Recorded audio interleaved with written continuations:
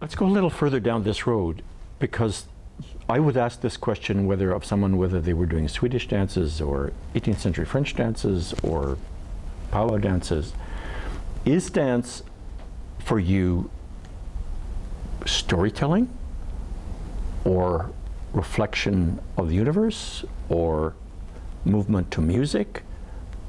How much of dance is storytelling for you and how much is it other forms of the arts. For us, we would say more and more abstract forms. Hmm.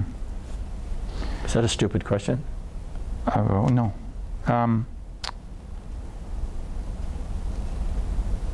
I, I, I, don't need to define it. Um, I, I think dance, it's sort of, it's, I, I would say because dance is such a universal idea, it's sort of like to me is like being asked, when you breathe, is it important to, to oxygenate? is it important to smell the air around you? Is it, is it important for your skin? Like, dance is just so universal. It's like talking. It's like, why do we talk? Sometimes I talk to mumble my way through my coffee. Sometimes I talk to teach like to me dance is that universal that it doesn't it's it does it's one thing in one instant and it's another thing in the next.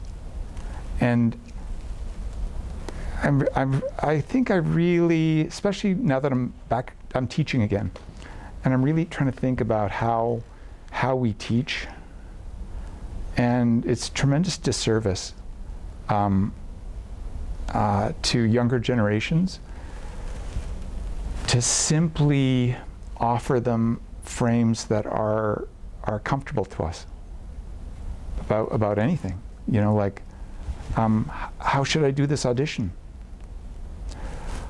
Okay, well let's hold on. Hold on a second.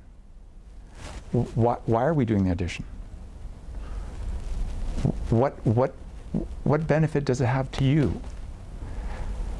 If you if you look at it only to get a job, it's a, that's a zero-sum game, you know. Um, can you use the practice to teach yourself something about um, uh, script analysis or how you assert your own power or how you try to help a production? You like there's a lot of frames um, for looking at an audition. So I, am thinking more and more, and I'm you know quite philosophical about about the, your question. It's that it doesn't have to be anything. It, it is literally um, a, a universal human practice. And sometimes it's useful for me that it tells a story. And in other times it's like, I just like to do it because it's fun. Other times I like to watch it. I don't have to do it. Sometimes I, I simply enjoy it, simply enjoy experiencing it. And whether it is, you know, tap dancing or jingle dress or, you know, hip hop, it doesn't matter. It doesn't matter what it looks like. It's, it's, it's like people talking, people breathing. It's totally natural.